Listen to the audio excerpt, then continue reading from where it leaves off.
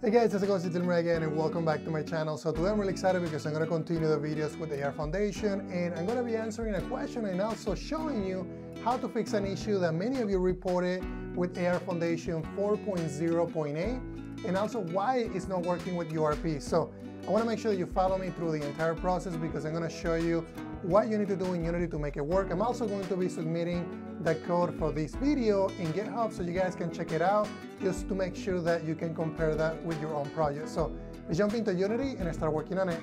All right, guys, so let's go ahead and get started. I'm going to be using the latest version of Unity, which is 2020.1.4F1. And then we're going to be using the 3D template. I don't want to use this one because I want to show you what you need to do in order, in order for you to get the URP working. So I'm going to just call this one, we can just call it AR URP demo. And then let's just put it in a directory, click on create. And then we just wait until the project gets created. All right, so it looks like the project got created. So the next thing that I want to do is we're going to go into Window and then Package Manager. And things are going to look a little bit different because we're using the latest version of Unity, but I'm trying to get used to it. So hopefully you'll get used to it with me as well. We're going to change this from packages in project to Unity registry. This is what's going to show you all the different packages that Unity provides. I'm also going to be downloading AR Foundation, so let's go ahead and get that going. The one that we're going to need is going to be this version, and this is the one that you guys have been having issues with, so I want to make sure that you install 4.0.8 just to make sure that we, you know, we correct any issues that you, may, you might be finding by downloading that version. I know some of you were having issues with like a black screen and it wasn't showing anything, so hopefully this will help you. And then the other thing that I also need is I'm going to be using ARKit. So in your case, if you want to use AR Core, you can do that as well, but I'm going to be using ARKit. And then I'm going to use the same version of ARKit XR plugin. Click on Install. And then after this is done, I'm going to be installing the URP, the Universal Rendering Pipeline. And I'm going to be using the one that is verified for this version of Unity. So now that we have that, let's go ahead and just search for URP. If it doesn't find it, we can just do Universal. And then it's gonna, it's gonna find it that way. And then the one that is verified, it's to be a that two that zero. Let's go ahead and install that. And just give it a few seconds, and we'll just move on as soon as this is done. OK, so it looks like this is done installing. So the next thing that I'm to be doing is let's go ahead and create a new folder. And that folder, it's going to be called, we'll just call it rendering. Then inside of that folder, I'm going to be creating the pipeline. And we're going to go into create rendering, universal rendering pipeline, a pipeline asset. And I'm going to use, use the name that Unity provides. Then if we go to the second file, which is the actual render asset, you're going to see that you have a few options in here. The ones that we're going to be creating is going to be a render feature. And the render feature that we're going to be using is going to be the AR background render feature. Make sure you click on that. Once you get that going, then we're going to go into Edit. And under Edit, we're going to go into Project Settings. Project Settings, let's go ahead and expand this so that we can see everything. We're going to do a couple of things in here. I'm going to go into my graphics, and we're going to be selecting the actual pipeline asset that I created. And then now that we have that going, I also need to, need to go to XR plugin management. And I haven't changed the platform yet, so let's go ahead and do that before I go and change this setting. Now let's go ahead and go into File, Build Settings, and then I'm going to change this to, again, if you're using Android, change it to Android. I'm going to, I'm to use iOS, so change it to iOS. And then I just click on Switch Platform. It'll just take a few seconds to switch. Okay, so it looks like this is done switching. Let's go ahead and go back into player settings. And also, let's go ahead and add the current scene to the open scenes because we're going to be building that next. I'm to close the build settings for now. Then on the plugin management, if you had AR Core, you would select that. In my case, it's going to be ARKit. So I'm going to go ahead and enable that. And then if you click on ARKit, you're going to see that you're going to, you're going to have a file here and also a requirement. I never changed that. I think that by default, it's going to work just fine. And then the other thing that we need to do, let's go ahead and go into player. And under player, we're going to leave everything default. I don't need to make any changes. We're going to be focusing on other settings. And a couple of things that we need to do for ARKit are going to be that we need to require ARKit support. So I'm going to be setting that. As soon as you set that, this is going to be populated automatically. This is going to be a requirement because we're going to be using the camera, so that needs to be populated. And then I think that's everything that we need to do here. I normally change the name and also the company. I don't think we need to do anything like that for this. Okay, so I think that's everything we need to, to do. We also have the XR plugin management set. We also have the graphics, which is going to tell the rendering that we're going to be using the universal rendering pipeline. So we can close out of that. So now that we have that going, I'm going to be adding a couple of components. I'm going to remove this camera because this camera is not going to be an AR camera. And then I'm going to go into right-clicking here and then go into XR. We're going to need an AR session origin that's going to be adding the camera in there. I'm also going to need an AR session. So let's go ahead and go back and then just add an AR session. Now, if we look at here and we look at the AR camera, let me just make sure that everything is set correctly. So if you look at if you look at this, it's going to have an AR camera background. That's it's going to be automatically set for you.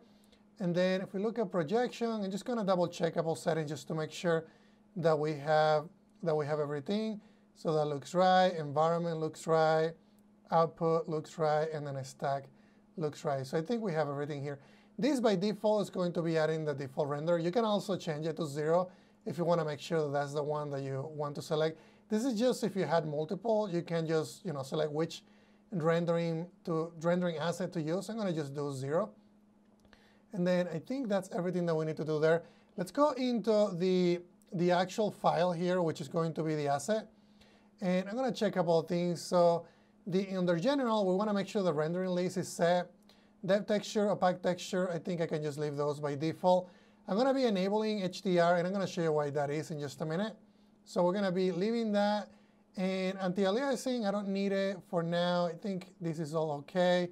Shadows, I think it's all OK. I think normally on shadow distance, I set it to something like 5 because we're dealing with meters. And if we do 50 meters, we're not to see the shadows. And then I think everything else, everything else is OK here. OK, so now let's go ahead and go back into my AR Session Origin. And we're to be adding a new component here. So the component that I want to add is going to be the AR Environment Probe Manager. Let's make sure we have that set. And the reason why I enable HDR is because we want these textures to be, the ones that are returned are going to be the HDR textures. So I want to have that enabled. And I'm telling the, the rendering pipeline that we're, to be using HDR as well. So there's a couple of settings in here. This one is going to be looking a little more kind of like square, like it's lower resolution. This is going to be average, average pixels, so it's going to look a little bit better in trilinear it's going to look a lot better on the textures that we have on the actual reflection. So I think that looks fine. Now what I'm going to do is let's go ahead and create a new material. So I'm going to go ahead and create a material. This is going to be the material that we're going to be creating for the sphere. So I'm just going to call it, we can just call it a sphere. I think it's fine. Uh, let's just call it default. I think it's OK. And then I'm going to add that and put it under a folder. So materials. It's always good to do that. And we can just add it to the assets folder. Then we can go back here. I'm going to drag it and drop it. It's going to be our default material. Or we can just call it something more, more explicit, so reflection. And I don't want to I don't want to have to rename it later. So I think I think that's fine. And then metallic, we're going to go all the way up. And then smoothness, I'm also going to go all the way up, all the way up because I want this to basically do be a reflective material. We're going to be using a reflection probe. And it's actually going to be using the AR Environment Probe Manager. It's going to get reflections from the real world, and then we're going to be casting those.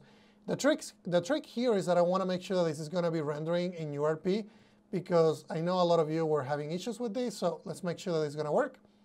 Then the other thing that I'm going to do is I'm going to create a new sphere.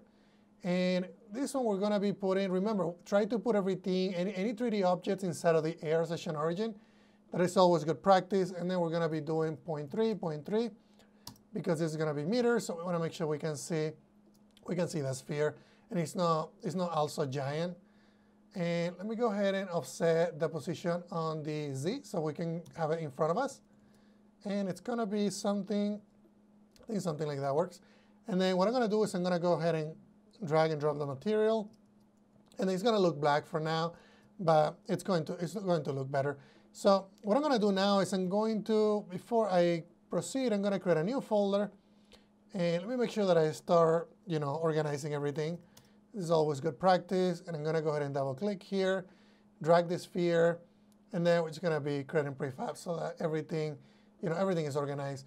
Okay, so we're going to have that sphere right there. And then maybe on the gizmos, Let's go ahead and make these gizmos a little smaller so they're not gigantic. Okay, so the other thing that I'm gonna do is maybe we can just have another one right over here and we can just offset that by negative, let's see, 0.5, I think it's fine. And then we'll just have another one on the right. So just change that to be a positive number. And then we can perhaps just add another one, just offset it a little bit up, and we'll just do 0.5 on the y-axis. And then we'll just offset it as zero. So we're going to be doing something, something like that, I think.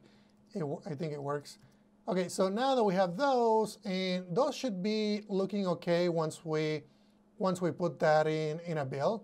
And I'm going to show you how that looks as soon as I get this bill. So that's everything that we need to do in order for this to work. The way this is going to work, the AR Environment Probe is going to be casting reflections from the real world.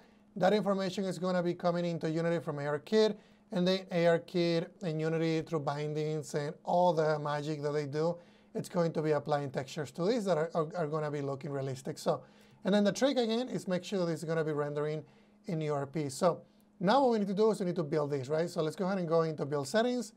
And then if everything, everything is set up correctly and I didn't miss a step, this, is, this should work. And I'm going to be putting this on my desktop. And this one we can just call it AR URP demo. And we can just put it in my desktop again. Hit save, and it's to basically create an Xcode project and I'm to show you how it looks as soon as this is done building. Alright guys, so this is finished building and we're now getting our pop-up just to make sure that we give access to the camera. And then you're to see that it's at the beginning it's going to take a little bit of time to generate the textures. You guys can see that everything is working. And again, this is using URP, so we know that URP is you know, working with the, the actual AR you know, Probe Manager. And you guys can see how everything is looking. Let's go ahead and get a little bit closer. And I'm also standing up just so we can see that the actual textures on these spheres are getting regenerated. And there's something that I want to look into, and that is how frequently these ones get generated. I'm going to be looking into making a new video, but that's honestly everything that I wanted to show you how to do. If you guys have any questions about this video, please let me know in the comments. Thank you guys.